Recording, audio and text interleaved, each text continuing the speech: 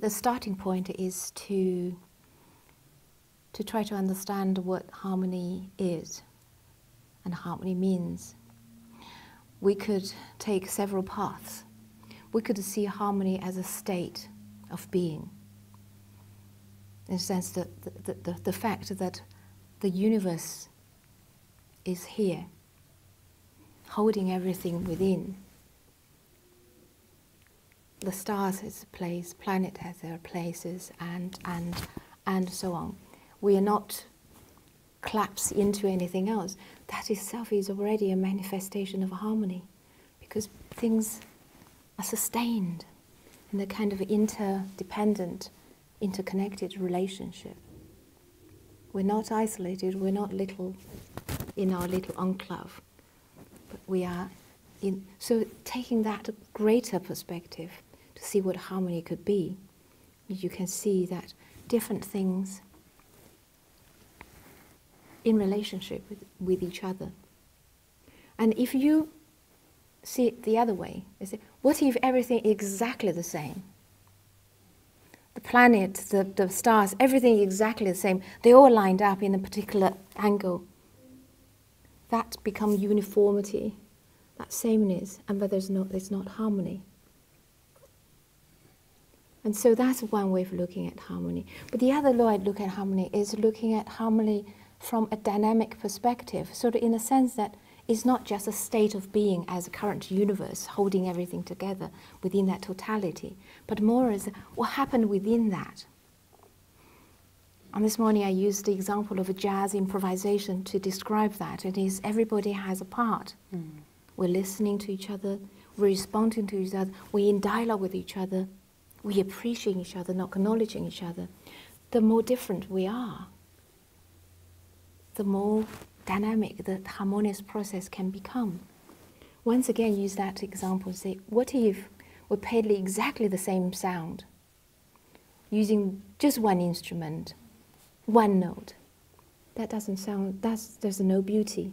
There's no goodness. There's no, there's no dynamic. There's no symphony. Mm. There's no elevation or ascension of our, spirit when we listen to that. There's no participation. So that's one is a static way of looking at what, what the totality, within the totality, the things in harmony with each other.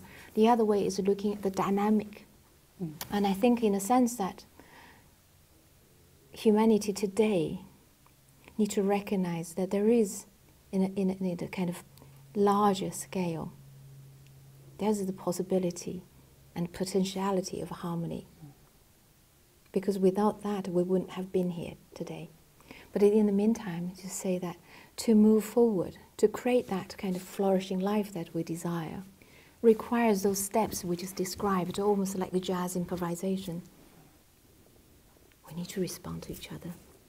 And the, it moves like harmony, harmonization requires that difference. The diversity. is diversity that makes makes a harmonious world mm. rather than uniformity. And um, so that's why we, we could say we have to rediscover harmony in the world of difference. That means we need one another in order to co create that future that we, we wanted. We need your difference so that I can be enriched. So, why is it in a world of difference? the world of difference allows us to learn from each other, to appreciate each other, and to mutually transform. Uh, uh, uh, and, and in this in this process, in this harmonizing process, then we can co-create beauty, goodness, and love.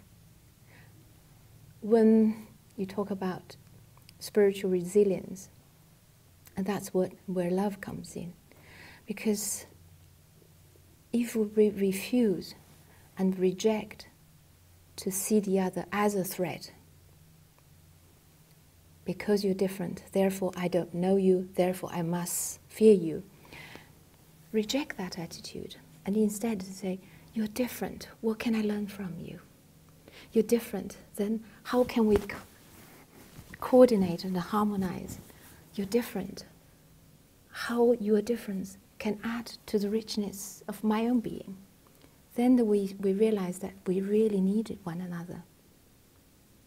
So it's, that requires a spiritual level. We appreciate the other's humanity. They are not just a label.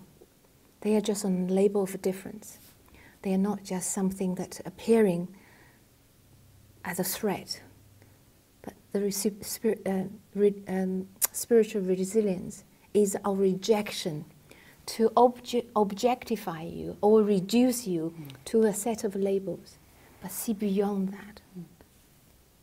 And that level, when we, go be- when we go beyond that, at that level, and that's where human spirits lie.